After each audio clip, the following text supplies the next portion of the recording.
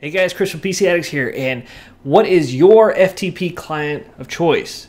Mine is FileZilla. It's been FileZilla for a very long time. Um, I have found that for me, it seems to work a lot better on Windows than it does OS 10. And the only thing that, the only reason that I'm saying that is because you can't seem to drag and drop from like your desktop or Finder. You can't seem to drag it into FileZilla. Um, to your remote server section. So uh, maybe they fixed that now. I haven't tried it in a while, but let's go ahead and launch it. So it's a very basic interface. Um, basically just hit this little button up here that allows you to connect two different servers that you configure so you don't have to retype it in each time. I set up a FTP sample here. Uh, you can find this. You can just go to ftp.mozilla.org and just leave it as an anonymous logon type just to test it out and try it out. So um, basically, you would just hit new site, pop that in there. Uh, for your own site, you would want to put whatever your host information is, and you'll get all that through your web hosting or your FTP hosting or um, whoever you're going through for that. And then uh, pop in your, you probably have to change your logon type to normal and put in your username and password. But all you got to do is hit connect.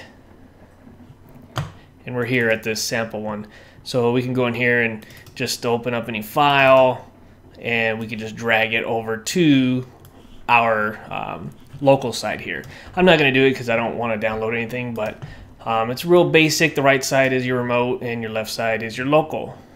Um, you got two sections up here uh, to work with. I kind of use this as my main folder section and then the files in the bottom right here. Um, and uh, so yeah, you can I configure I have uh, Sublime Text as my text editor so you can configure that up here I think it's in settings